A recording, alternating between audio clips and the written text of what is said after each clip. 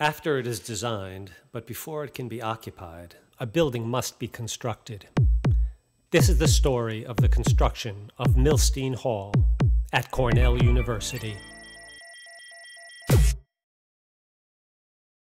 The green or vegetated roof of Milstein Hall starts out pretty much like any protected membrane roof.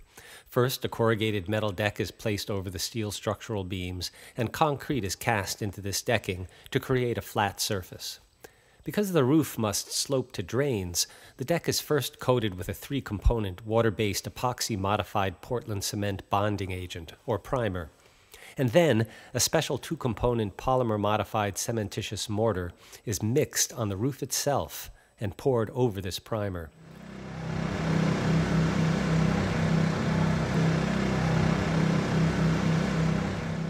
A 2x4 screed is used to flatten the surface so it conforms to the necessary slopes, which are pretty subtle, but which will direct any water to roof drains.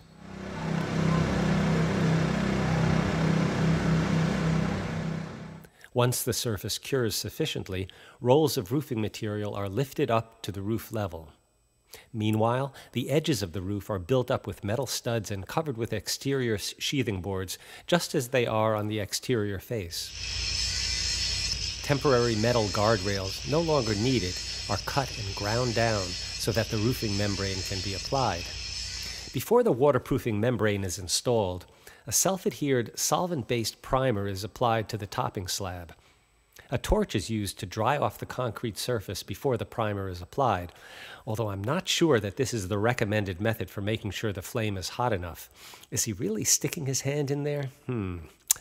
The roofing membrane is an orange colored self adhering heat weldable thermoplastic PVC with an integral fiberglass mat carrier sheet for dimensional stability, containing pigments, stabilizers, and biocide. It is rolled out so that it overlaps the adjacent sheet. Let's listen as the field foreman explains how the system works. Sarnafil? Sarnafil, yeah. 741. 476. 476, okay. 476. And it's adhered with some sort of A primer. primer, okay. Yeah. And then, and Self-adherent backing to the membrane. great. And then next layer is some sort of protection membrane Yeah. or An HP protection. mat, then three layers of extruded insulation, then a drainage panel, then the overburden, and then the plants So, okay. And this is going to all happen in the next month or two? within the next month. Let's review the essential elements of a green roof from bottom to top. First is the structural substrate, in this case, a concrete deck with a topping slab. Next is the waterproof roof membrane. On top of that is some sort of protection barrier, and then rigid insulation, here extruded polystyrene or XPS, that can be exposed to water. After that, a drainage layer to capture and direct water to the roof drains or gutters, and finally, the growing medium, and then the plantings, in this case, two types of sedums. The key to making this membrane waterproof is to seam or weld together all the joints. This is done in various ways. For long runs, an automatic robot welder is used. For the smaller detail areas where seams or flashings need to be welded, a handheld heat gun is used. While the orange horizontal roof membrane is being applied, a white PVC flashing membrane, formulated for application on vertical surfaces, is rolled out in preparation for its application on the concrete skylight walls. Specially prefabricated corner pieces are heat welded into place where the skylight walls intersect the orange membrane, providing a continuous waterproof seal. Other circular pieces provide added protection where roof membrane seams intersect the vertical flashing. To complete the roofing membrane, once the horizontal roof surface and skylights are covered, the building edges must be finished or flashed. As mentioned earlier, the metal stud fascia that supports stone veneer panels is covered with exterior gypsum sheathing on both the outside and inside surfaces. Then, bent sheet metal strips are fastened under the roofing and up onto the ver- vertical sheathing. The roofing is then adhered to this surface, completely covering what now appears as a low parapet wall. Finally, the roof membrane is screwed through a metal edge strip on the exterior face of the wall. Where Milstein intersects the existing buildings on its southern and eastern edges, the roofing is formed into gutters at Sibley Hall and flashed into the existing walls of both Sibley and Rand Halls. Aside from edge gutters, the roof also slopes into internal roof drains. Beneath the eventual green roof plantings, the concrete topping slopes in the direction shown by these arrows to a lowered area with a pair of drains. Here we can see the drains in the actual roof. One is the regular roof drain, and the other, with a raised flange to prevent water from draining into it under ordinary circumstances, is the emergency or backup drain. Before the edge of the roof is finished, we can see all the layers that comprise the green roof, in particular, the three layers of extruded polystyrene rigid insulation that are placed above a protection layer over the roof membrane.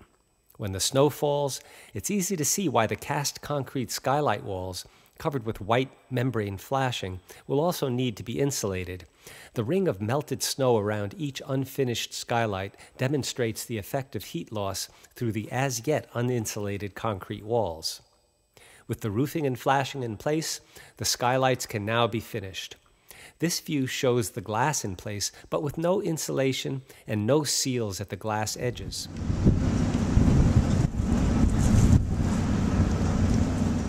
After the glass is in place, rigid insulation is adhered to the outside of the white membrane flashing, and metal plates are installed that create a seal at the glass edges.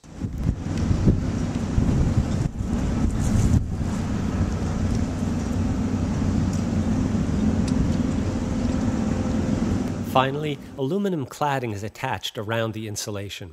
The joints will all eventually be sealed.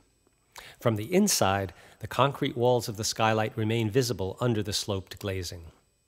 Returning to the various layers that make up the green roof, we see a drainage mat placed above the insulation so that the insulation does not get saturated with water. The drainage mat directs water to roof drains and gutters. It is protected with some filter fabric so that it remains free of soil.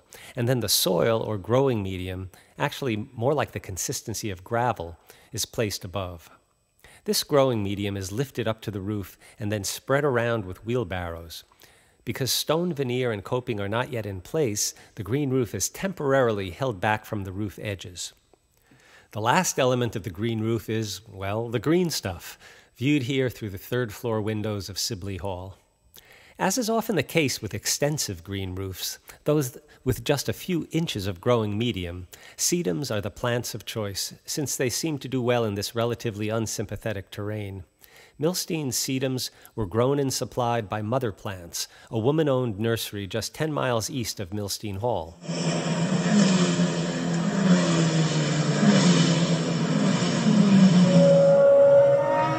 Plants are brought to the site and inserted into the growing medium one at a time, with care taken to establish the pattern drawn by the architects, using two different sedums, each with its own color. With over 20,000 square feet of green roof area, and assuming that each plant occupies, well, about one square foot, one can imagine the effort required to insert each of these 20,000 individual sedum plants carefully by hand making sure that the colored patterns are accurately implemented. The rationale given for this complex pattern of sedum colors can perhaps only really be understood by people who have spent too much time in academic settings. Quoting from Cornell's Milstein Hall website, we discover that, quote, the sedum dots gradually increase in diameter as they approach the gorge, creating a landscape that is orderly and structured nearest the arts quad, and a denser, less structured field as it reaches the gorge. End quote. Ultimately, not so long after the pretty photos have been taken, these colored sedums will grow where they want to grow, and the rigorous pattern is likely to give way to something more unpredictable. At the edge of the roof gutter, the green roof layers are held back by a perforated screen. And because the roof is inaccessible, this view over the foundry building across the street and toward Cayuga Lake in the distance will unfortunately never be available to students, staff, or faculty.